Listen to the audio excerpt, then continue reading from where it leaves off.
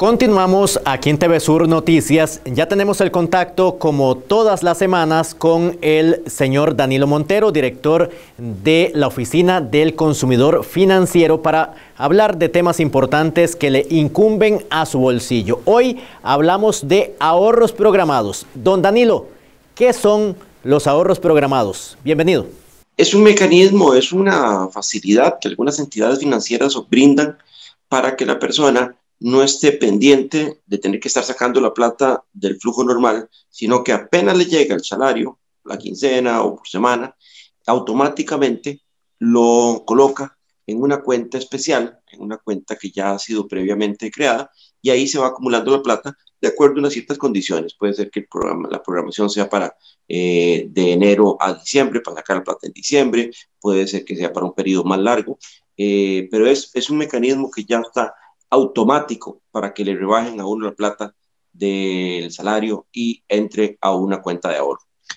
Es importante explicar cómo funcionan los ahorros programados, por cuánto tiempo, cuánto dinero es, cómo se escoge, cuánta posibilidad tienen las personas de ahorrar. Expliquemos ese detalle, cómo funcionan los ahorros programados, don Danilo cada entidad, eh, cada entidad financiera tiene mecanismos y depende mucho de los sistemas que tengan.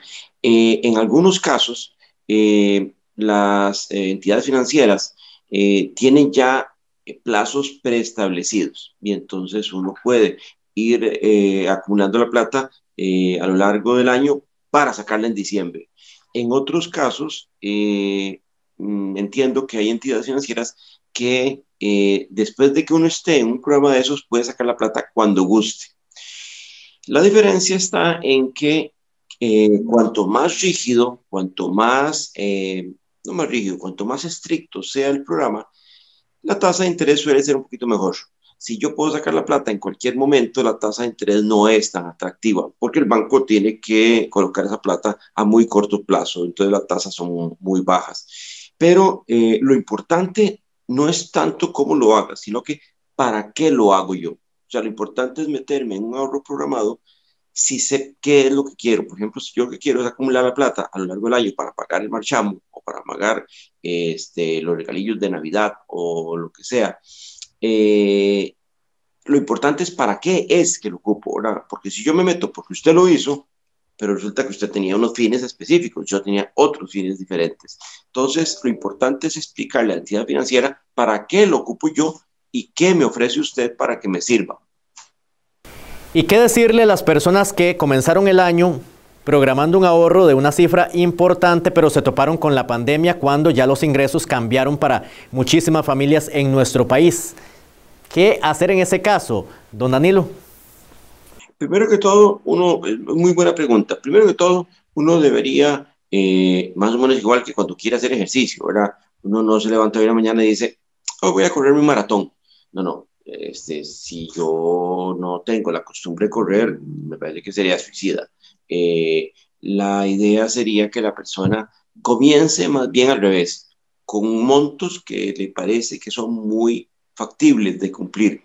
Eh, efectivamente yo he sabido gente que se pone muy eh, fogorona, ¿verdad? Que llamamos, ¿verdad? Y comienza con un ahorro violentísimo. Eh, eso puede tener varias consecuencias. Uno es que cuando vaya al banco y a decirles, mire, qué pena, pero me quedé sin empleo, no voy a poder ahorrar esa cantidad de dinero, resulta que el contrato no lo permite. Eh, en algunos casos lo permite, pero hay una penalización en alguna comisión algún, o una reducción en la tasa de interés. Eh, hay salidas, o sea, no, es que uno está amarrado hasta que la muerte nos separe con ese plan de ahorro programado, pero tiene que preguntarle muy bien a la entidad financiera qué pasa si me pasa algo, un accidente. Diga que no fue pandemia, diga que fue un accidente que no se esperaba o que alguien de la familia se enfermó y se necesitan esos recursos. Eh, es importantísimo antes de arrancar el plan preguntarle a la entidad financiera eh, qué, debo hacer si llegara a ocupar esa plata antes de lo previsto. Para que los amigos televidentes de TV Sur Noticias lo tengan claro, ¿quiénes tienen acceso a los ahorros programados? Cualquier persona, cualquier persona. Yo entiendo que las cooperativas tienen programas de ahorro programado, eh, los, bancos, por supuesto que también. Eh, yo no sé si las asociaciones solidaristas tendrán algo eh, establecido.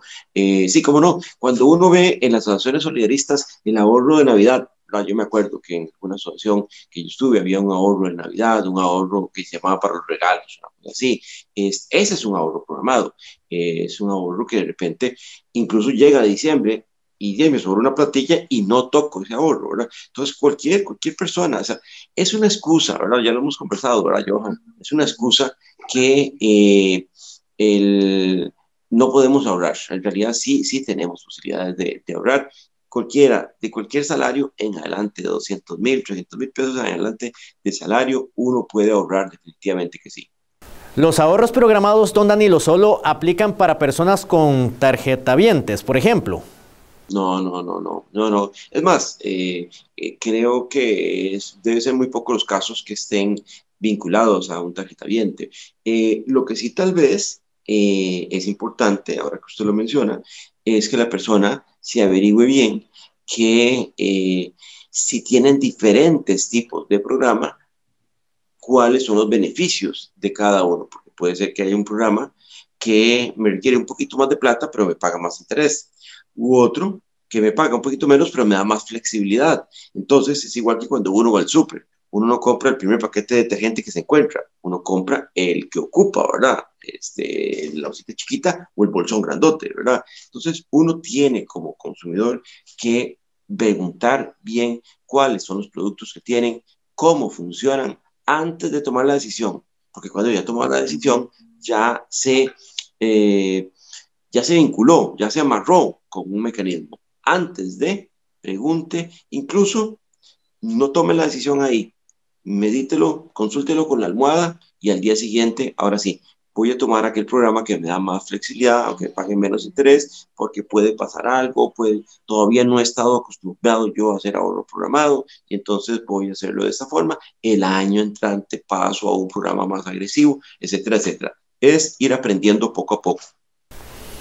Gracias a don Danilo Montero, director de la Oficina del Consumidor Financiero, que como todas las semanas nos acompaña aquí en TV Sur Canal 14 vía Zoom para darnos esos consejos importantes para su economía, para su bolsillo, que siempre, por supuesto, son muy valiosos.